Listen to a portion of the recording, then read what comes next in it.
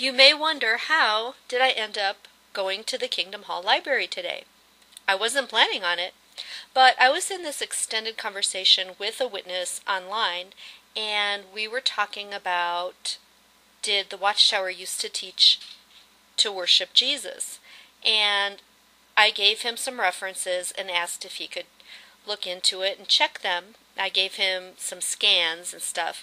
He said they were altered by apostates, and I was hoping I could get a look at the real book and maybe even get a picture of myself with it. So I just had this random idea just to call the Kingdom Hall and ask if I could come there and look at the library. Well, lo and behold, a lady answers. Um, I'll call her M, and she was really nice, and I ended up getting to go. Her husband was an elder, and so I got there and I met her, another lady, her husband, and two other men. They were all really intrigued um, what my deal was and why I was doing this. You know, I said I was a researcher. I said you can't trust the internet. I would rather see original sources, and it would really help me out if they would let me look at them. So they were like cool with it. When we first got into the library, the elder said a prayer and then shared some random things with me um, about the organization and then shared a scripture with me from the book of John. And I told him how much I love the scriptures also and try to read them every day, etc. They asked me, Have you studied with witnesses? And I said, Yes, I studied for six months um, the wife, M, asked, Why did you stop studying? I said, I didn't stop. They stopped the study. I think it was just because they didn't like some of the questions I was asking and were becoming uncomfortable. But I mentioned how much I liked all the ladies that came and got on with them really well. And then we just chit chatted about some other things. The elder told me of improvements they had recently made on the Kingdom Hall, both inside and out, all with volunteer labor. The library was really cool looking. I noticed a very old set of studies in the scriptures. I looked at the yearbooks, but alas, they only went back to 1950. I looked for another book that had the same information from the year 1930, also to no avail, although they did have some of the older books from the same era by Rutherford. Now, the elder seemed much more concerned and nervous than his wife, and asked questions like, if I take a picture, would it be just for personal use or to put down Jehovah's organizations somehow? I explained that the only reason I wanted a photo of myself with the book was to show the person I was talking to that this was from the actual book, the actual hard copy. I did I did, though, um, enjoy looking at the hard copy of a book called Prophecy by Rutherford, and did take a photo of a page in there that shows that Watchtower still believed um, that Christ had returned in 1874. Um, he said that was the one picture I would be allowed to take.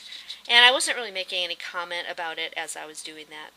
But before I left, we got to talk a lot more. The elder shared another verse with me from his New World Translation. The wife wanted to ask about my study again. She asked, would I consider resuming it? I said, well, I'm sure those same ladies don't want to. She seemed to be asking more about it, so I told her that one of the issues we reached an impasse on was Jesus not being my mediator. I shared that I have always believed he is my Savior, Lord, and mediator, but through the study discovered the Watchtower teaches he's only mediator for the anointed class. And that left me with a huge problem because, well, I totally need a mediator between myself and Jehovah, being the sinner that I am. She declared that she believes he is mediator for all men, as the Bible says. I said, Amen. I always go by the Bible as well, and that's awesome that you do too. I said, Well, don't take my word for it. Check out the Jehovah's Witness teaching on this for yourself. It's always a good thing to get all the facts on things. The elder husband, though, did go on some about the anointed being the only ones in the new covenant arrangement, etc. And I didn't really argue with him, but just listened. I talked about how neat it is that we all agree on the Bible being God's Word, and I was wondering what they would say to this question. Could an ordinary person just find the truth for themselves in the Bible without the faithful and discreet slave? The wife was like, Yes, of course. But the husband corrected her by saying no and explained about the slave being God's channel to give us meat in due season and all that. I remarked that they seemed to have somewhat of a difference of opinion on this issue. I mentioned that it was interesting that Pastor Russell so clearly stated that reading studies in the scriptures would make all things crystal clear for any Christian, much more than just reading the Bible alone. He even said that if you read studies in the scriptures, but then put them aside to read the Bible alone, you would return to spiritual darkness. The wife grumbled. I never heard of any quote like that. A little more random and pleasant conversation ensued. But toward the end, while we again were talking about the Bible and finding truth, I mentioned how important it is to check everything out for yourself, to test all things. For example, if only a single verse is being quoted to prove something, or even just a part of a single verse, a great idea would be to read the previous few paragraphs as well as the ones after. That's such a simple thing anyone can really do to check if that verse really means what someone is trying to prove by it. They agreed with this, the importance of context.